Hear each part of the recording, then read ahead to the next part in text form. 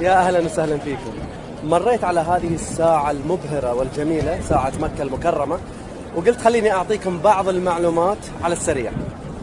عام 2008 أمر الملك عبد الله الله يرحمه ببناء ساعة مكة اللي كلفت 3 مليارات دولار. كان الملك عبد الله يشرف على هذا المشروع بنفسه لذلك ما طولت كثير.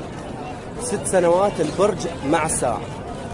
بناء ساعة بهذا الحجم تحدي كبير للمهندسين لأنها أكبر من أكبر ساعة لساعة لندن ب 35 مرة. تخيلوا؟ قطر الساعة المينا طوله 44 متر وله وجه واحد أربع جهات. عقرب الساعة الطويل طوله 23 متر لازم يسوونه بهالضخامة حتى تنشاف الساعة من أماكن بعيدة جدا في مكة. أيضا كلمة الله أكبر اللي موجودة فوق الساعة. هي أكبر كلمة تكبير موجودة في العالم.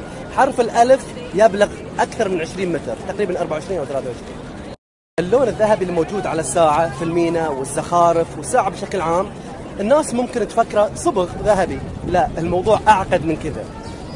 الأذان هذا يبث من فوق البرج من عند الهلال باستخدام أفضل السماعات الموجودة على الإطلاق. حتى يسمعها الكل.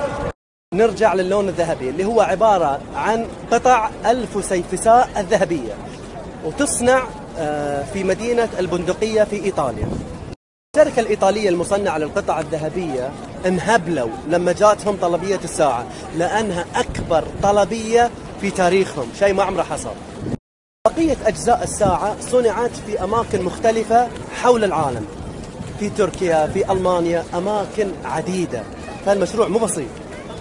والآن بعطيكم معلومة أخيرة عن دقة هذه الساعة. حتى نجعل توقيت مكة المكرمة توقيت عالمي ينفع الأمة الإسلامية كاملة نحتاج ساعة دقيقة جدا جدا جدا. لذلك ساعة مكة المكرمة تعتمد على ساعة ذرية وهي الأدق في الكون.